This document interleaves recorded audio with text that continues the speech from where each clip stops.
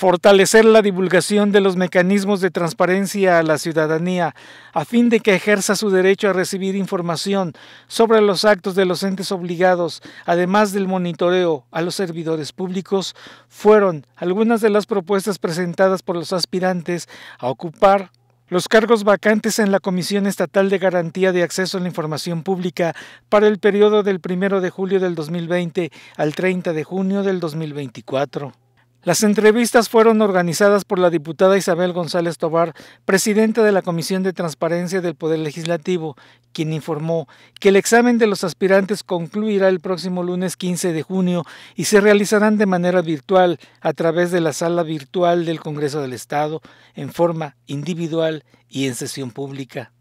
Este miércoles tocó el turno a los aspirantes José de Jesús Cárdenas Turrubiartes, Claudia Elizabeth Gómez López, Nancy y Esmeralda Hernández Cervantes, Juan Villaverde Ortiz y Daniela Robledo López, quienes presentaron su experiencia en materia de transparencia y dieron a conocer sus propuestas. La evaluación será objetiva e imparcial y cualquiera de los aspirantes puede ser considerado para ocupar cargos al interior de la Comisión Estatal de Garantía de Acceso a la Información Pública. Humberto Alonso y José Luis Juárez Díaz, Noticieros Canal 7.